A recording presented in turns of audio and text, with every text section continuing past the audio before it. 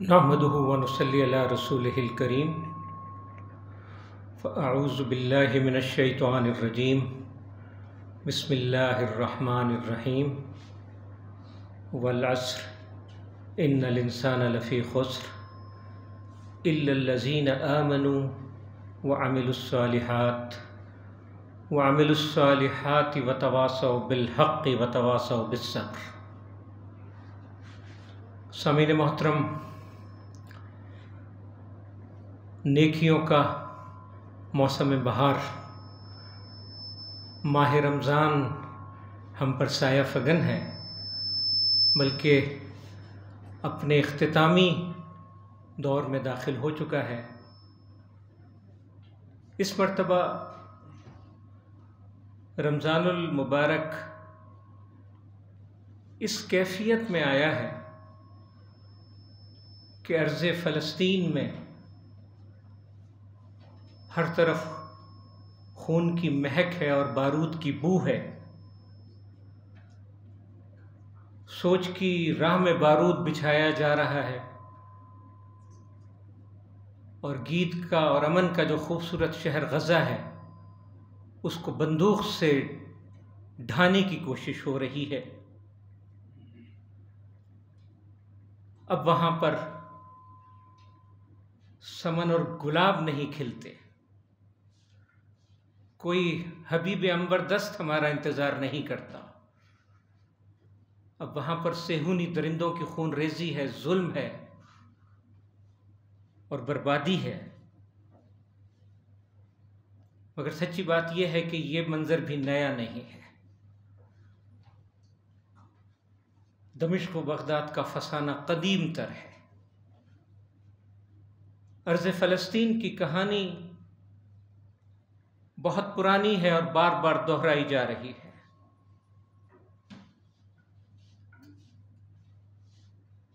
उसी कहानी के ज़िक्र से हम अपनी बात को आगे बढ़ाएँगे और बात जब इस माह मुबारक की होती है रमज़ान मुबारक की होती है तो हकीकत यह है कि हम रमज़ानुल मुबारक को और इस महीने के रोज़ों को अपने ऊपर मुसलत कर लेते हैं। और रमज़ान हम इस कैफियत में गुजारते हैं कि रोज़ा रख कर शायद पूरी उम्मत मुस्लिमा पर हमने एहसान किया है और अपने मिलने वाले हर शख्स से हम ये तो रखते हैं, उम्मीद रखते हैं कि हमारे साथ खसूसी सलूक किया जाएगा। हकीकत यह है कि रमज़ानुल मुबारक में हम अपने तमाम मामूलात को 180 के दर्जे पर तब्दील कर लेते हैं। जबकि इस्लाम हमें यह दर्स देता है कि हमें रमज़ान के रोज़ों में भी अपने मामूलात को बरकरार रखना चाहिए। किसी न किसी हद तक इन मामूलात में तब्दीली ज़रूर आती है, लेकिन वो तब्दीली इतनी ज़्यादा नहीं होनी चाहिए कि हम अपने सारे फ़राइज़ को भूल जाएँ और दूसरे लोगों के हकूक़ को फरामोश कर दें। हम अगर तारीख़ी एतबार से देखें तो रमज़ान मुबारक के महीने में बड़े बड़े अहम काम हुए हैं। गजब बदर रमज़ान मुबारक में हुआ था, यानी जो हक बातिल की पहली फैसला कुन जंग आप कह सकते हैं। और फिर फ़तेह मक्का भी रमज़ान मुबारक में हुई यानी आप कह सकते हैं कि इस्लाम का इब्तदाई और मुकम्मल गलबा जो है जजीरा नुमाया रब पर, वो इसी महीने में हुआ। फिर दस रमज़ान मुबारक वो दिन है कि जब मोहम्मद बिन कासिम ने सिंध में कदम रखा था, जिसे हम योम बाबुल इस्लाम करार देते हैं। और इसी मुबारक महीने में तारिक बिन ज़ियाद ने अपने सफ़ीनों को स्पेन के साहिलों पर आग लगाई थी। और ये तो ज़माना हाल की बात है कि हमारा प्यारा वतन इसी महीने में सत्ताईस रमज़ान मुबारक की रात को आज़ाद हुआ था। तो आज ज़रूरत इसी बात की है कि इन सारी चीज़ों को हम अपने जहन में रखें। अल्लाह ताला ने रमज़ान मुबारक की फजीलत की जो बात की है, उसमें अल्लाह ताला ने तीन एतबार से रमज़ान को तकवीम इस्लामी का अहम तरीन महीना करार दिया है। सबसे अहम बात यह कि इस महीने में कुरान हकीम नाजिल हुआ था। दूसरी बात यह कि ललतुल्क़द्र इसी महीने में है और अभी दो ताकरातें बाकी हैं। हमें उसकी तलाश करनी चाहिए, उसकी जस्तजू करनी चाहिए। हो सकता है अल्लाह ताला ने मेरे और आपके नसीब में लिखी हो। और तीसरी अहम बात ये कि इसमें अल्लाह ताला ने रमज़ान के महीने हम सब पर फ़र्ज़ करार दिए हैं। और रमज़ान के महीने हम सबको रखने हैं। और जैसा कि मैंने अर्ज़ किया, इस तरीके से रखने हैं कि हम अपने फ़राइज़ को फरामोश ना करें और दूसरे के हकूक़ को भी हम याद रखें। रमज़ान मुबारक असल में हमारी तरबियत का एक प्रोग्राम है। बिलाशुबा ये अहम तरीन मरासम अबूदियत में से है, लेकिन रमज़ान बहरल मुकम्मल इबादत नहीं है। हमारी जो नमाज़ है, वो एक रूटीन का, तरबियत का प्रोग्राम है, जबकि रमज़ान साल में एक मरतबा आता है और ये हमारी तरबियत का एक क्रैश प्रोग्राम है। इस प्रोग्राम के ज़रिए अल्लाह ताला मुझे और आपको तैयार करना चाहता है कि हम अपनी जो बड़ी इबादत है, उसको सही तौर पर अदा करें। और बड़ी इबादत क्या है? वो हमारी ज़िंदगी का एक एक लम्हा है। हमारे मामलात हैं। हमारी गुज़रती हुई ज़िंदगी है, उसका एक एक दिन है एक एक रात है। और ये सारे रोज़ शब इस तरीके से गुज़रने चाहिए कि अल्लाह ताला हमसे राज़ी हो जाए और रमज़ान इसी के लिए मुझे और आपको तैयार करता है। रमज़ान के हवाले से अगर हम देखें तो रमज़ान को जब हम एक क्रैश प्रोग्राम कहते हैं तरबियत का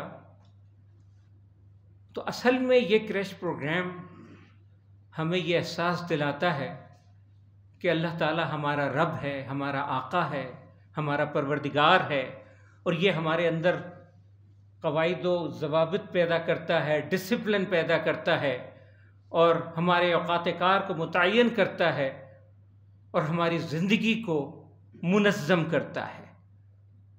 और इसका नतीजा ये निकलता है कि दो अहम चीज़ें हमारे अंदर पैदा होती हैं।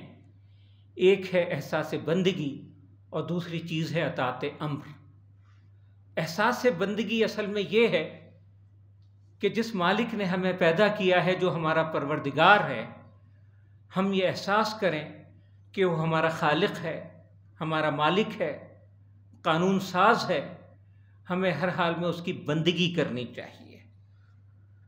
और इस एहसास से बंदगी के बाद जो दूसरी अहम चीज़ खुद ब खुद इसका एक नतीजा निकलता है, वो है अतात अम्र और उसका मतलब ये है कि जिस मालिक की मैं और आप बंदगी करते हैं, उसी की मुझे और आपको अतात करनी चाहिए। हर लम्हे हमारे अंदर ये पेश नज़र रहना चाहिए कि अल्लाह ताला की बंदगी किस तरीके से करनी है और उसने ज़िंदगी के मुख्तलिफ़ मामला के हवाले से हमें क्या हुक्म दिया है। और जब ये दो चीज़ें जमा होती हैं एहसास बंदगी और अतात अम्र तो जो चीज़ सामने आती है, उसे तकवा कहा जाता है। और यही रमज़ान का असल मकसद है। लाकुम तत्कून कि इसके नतीजे में उम्मीद रखी जाती है कि तुम्हारे अंदर तकवा पैदा हो जाएगा, एहसास बंदगी होगा, अतात अम्र का एहसास होगा। और तकवा क्या होता है? हज़रत उबई बिन काब, बड़े मशहूर साहबी रसूल थे उनसे हज़रत उम्र फ़ारूक ने एक दफ़ा ये पूछा, कि आप मुझे बताइए कि तकवा क्या होता है? तो हज़रत उबई बिन काब ने जवाब में हज़रत उमर से सवाल किया है कि ए अमीरुलमोमिन क्या आपने कभी ऐसे रास्ते पर सफ़र किया है जिसमें कांटों भरी झाड़ियाँ लगी हुई हों? तो आपने जवाब दिया, बारहा मैं ऐसे रास्तों से गुजरा हूँ। तो आपने ये कहा कि आप किस तरीके से गुजरते हैं? ये उबई बिन का आपने सवाल किया। तो हज़रत उमर ने यह जवाब दिया कि मैं इस तरीके से गुज़रता हूँ कि उन कांटों से अपने आप को और अपने दामन को और अपने लिफाज को महफूज रखूँ। तो हज़रत उबई बिन काब ने ये कहा कि अमीरमिन यही तकवा है कि ज़िंदगी की शाहरा पर आदमी इस तरीके से गुज़रे जो गुनाहों की झाड़ियाँ हमारे इर्द गिर्द मौजूद हैं और जो गुनाहों के कांटे हमारे इर्द गिर्द मौजूद हैं, उनसे हम अपने दामन को भी बचाएँ और अपने जिस्म को भी बचाएँ। कि नज़र चुरा के चलें और जिस्म जा बचा के चलें। ये हमारे चलने का इस ज़िंदगी में अंदाज होना चाहिए। अगर ये तकवा होगा तो यकीनी तौर पर हम रोज़े के हकीकी मकसद तक पहुँच सकेंगे। और नबी करीम वसल्लम ने यह कहा था कि हकीकी रोज़ा वो होता है कि जो ईमान और एहतसाब के साथ रखा जाता है। सिर्फ़ खाने पीने से गुरेज करना जो है, वो रोज़े के तकाज़ों को पूरा नहीं करता। अगर हमारी बाकी ज़िंदगी उसी तरीके से जारी रहे जिसमें हम अमानत में ख़यानत भी करते रहें, हम झूठ भी बोलते रहें, हम वादा खिलाफ़ी भी करते रहें, लोगों के साथ हम धोखेबाजी भी करते रहें, अपनी जो हमारी ड्यूटी होती है, उसमें भी डंडी मारते रहें, उसको भी दयानतदारी से अदा ना करते हों, वक्त का ख्याल ना रखते हों तो फिर यकीन जानिए कि ये रोज़ा हकीकी रोज़ा नहीं है। वो रोज़ा जिसमें बाकी नाफरमानियाँ जारी रहती हैं वो एक लाश की तरह होता है। वो लाश के जिसमें सारे आज़ा मौजूद होते हैं, मगर उसके अंदर रूह नहीं होती। इसीलिए दो हदीसें मैं आपको सुनाऊँगा और अपनी गुफ्तु का अख्ताम करूँगा कि नबी करीम वसल्लम ने यह फरमाया था कि जिसने झूठ बोलना और उस झूठ पर अमल करना नहीं छोड़ा तो खुदा को इस चीज़ की बिल्कुल हाजत नहीं है, ज़रूरत नहीं है कि वो अपना खाना पीना छोड़ दे। उसके रोज़े का उसको कोई फ़ायदा नहीं होता।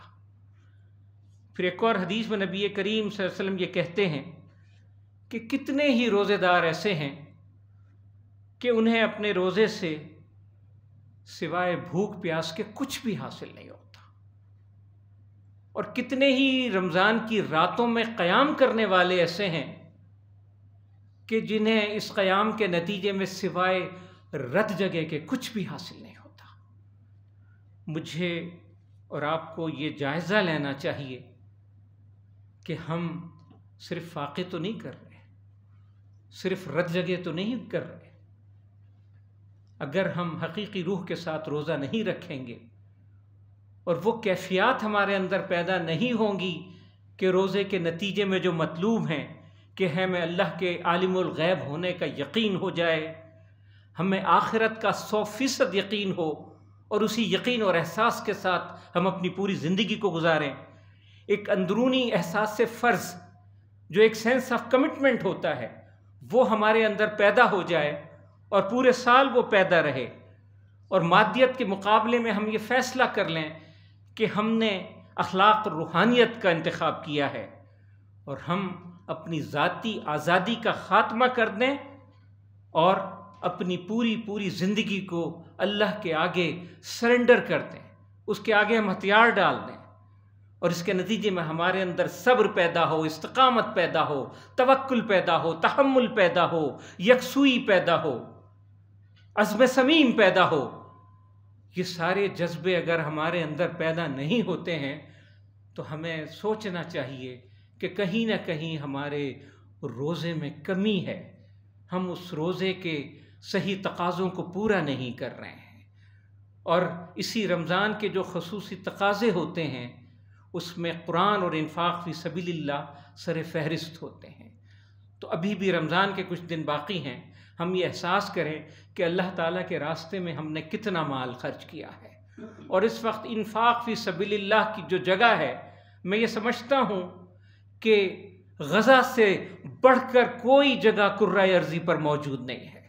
हमें उसके लिए ज़्यादा से ज़्यादा माल को खर्च करना चाहिए और साथ साथ अपने ताल्लुक़ बिलकुरान को मज़बूत करना चाहिए। ये ताल्लुक़ मज़बूत होगा तो ये सारी कैफियत मेरे और आपके अंदर पैदा होंगी और हम उम्मीद रखेंगे कि हमारा बुरा साल जो है, वो इसी कैफियत के साथ गुजरेगा और क़यामत के दिन हम अल्लाह ताला के सामने सुरखरू हो सकेंगे। बहुत बहुत शुक्रिया।